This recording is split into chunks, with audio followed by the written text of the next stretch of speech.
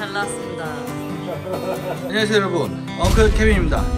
저희 집에 보면은 이렇게 지금 에어컨이 한 대 있어요.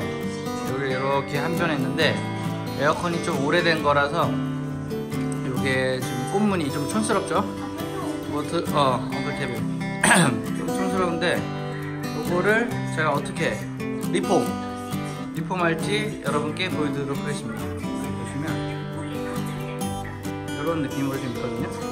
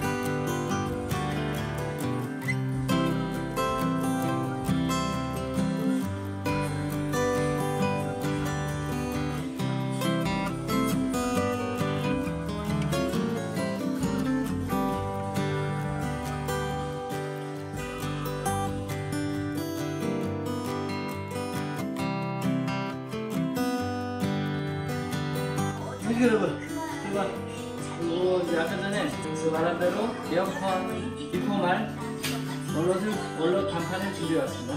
이거 이제 양면 테이프를 한번 붙여볼게요.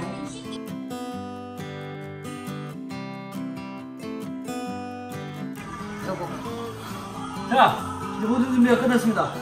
이렇게 해서 이제 이거 붙여만 주면 에어컨 리폼 끝. 자.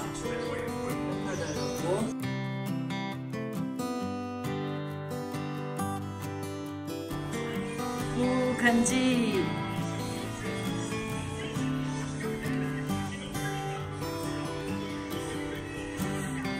오, 잘 나왔습니다.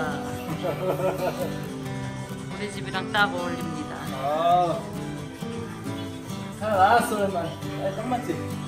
야, 잘 됐어. 딱 맞아 떨어집니다. 스위치도. 누르면 스위치를 누르면 오